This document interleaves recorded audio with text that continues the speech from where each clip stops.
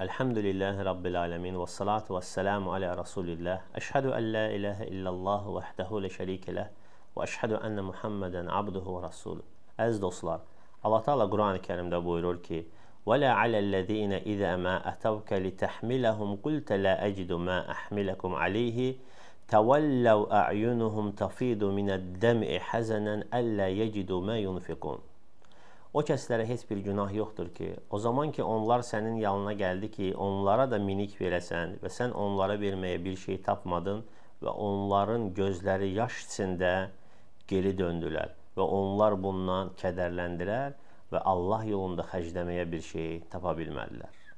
Bu ayət kimlər barədə nazil olub? O zaman ki, Əbu Leylə və Abdullah ibn Mağfəl Peyğəmbər sallallahu əleyhi və səlləmin yanına gəldilər və Təbük döyüşünə hazırlıq gedirdi. Və Peyğəmbər sallallahu əleyhi və səlləm insanlara atlar verirdi ki, o atın üstünə minib Allah yolunda cihada çıxsınlar. Və o bu iki gənc də cihad həsrəti ilə Peyğəmbər sallallahu əleyhi və səlləmlə bərabər döyüşdə iştirak etmək sevgisi ilə gəlmişdilər. Lakin Allah Rəsulü sallallahu əleyhi və səlləm onlara verməyə at tapa bilmədi. Artıq atlar tükəndi.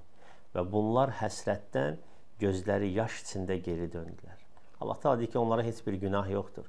Onlar hüzün və kədər içində gözləri ağlayaraq geri döndülər. Və Allah Taala onların bu əməlin öyür tərifləyir və qiyamətə qədər zikr olunacaq əzəmətli kitabında, Qurani-Kərimdə bu barədə ayətlər nazil etdi. Niyə görə? Niyə görə, nə üçün Allah Taala onlara bu fəziləti verdi? Çünki onların qəlbi itayəti qaçırtdıqlarından dolayı həsrətlə doldu. Və bu itayəti əldə etməməklərində onların heç bir günahı yox idi. Allahın qədəri ilə və tam səmimi niyyətləri ilə onlar buna gəlmişdilər, lakin bundan məhrum oldular və qəlbləri həsrətlə doldu. E, siz təsəvvür edin ki, bu qəlb sahibi olan insanlar əgər günaha düşsələr necə ağlayardılar? Əgər Allahdan uzaq düşəcək hər hansı bir əməli və sözü işlətsəydilər, hansı vəziyyətə düşərdilər?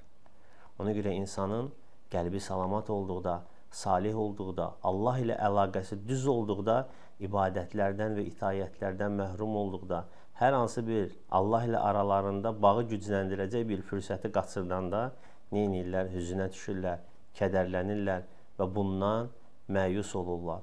Və Peyğəmbər sallallahu əleyhi və səlləmin də səhabələri hamısı belə idilər. Allah təala onlardan razı olsun. Elhamdülillahi rabbil alamin.